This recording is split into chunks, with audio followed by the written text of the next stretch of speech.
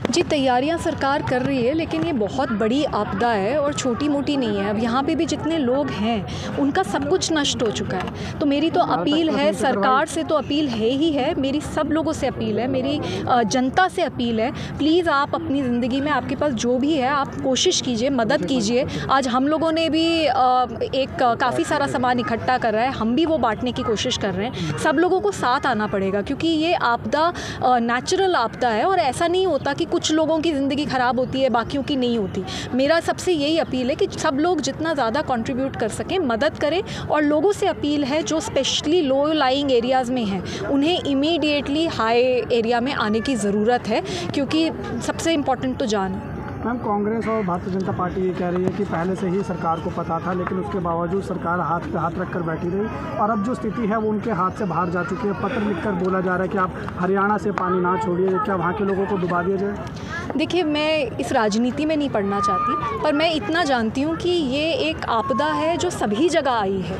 ये कोई ऐसी जगह नहीं है, चीज़ नहीं है जो दिल्ली में ही आ रही है। हिमाचल में भी बुरा हाल है पंजाब में बुरा हाल है, हरियाणा में बुरा हाल है, दिल्ली में बुरा हाल है गुड़गांव में बुरा हाल है, सभी जगह बुरा हाल है। तो मुझे लगता है कि इस वक्त राजनीति ना कर कर हम सबको साथ आना चाहिए और ज़्यादा से ज़्यादा लोगों की मदद करनी चाहिए। और सरकार तो जो कर रही है, सो कर रही है। मेरी सब लोगों से अपील है, प्लीज़ आगे आइए। यहाँ पे लोग हैं, यहाँ पे महिलाएँ हैं, यहाँ पे पुरुष हैं, यहाँ पे बच्चे हैं। उनकी जितनी ज़्यादा से ज़्यादा मदद हो सकी, मैं सबसे अपील करती हूँ।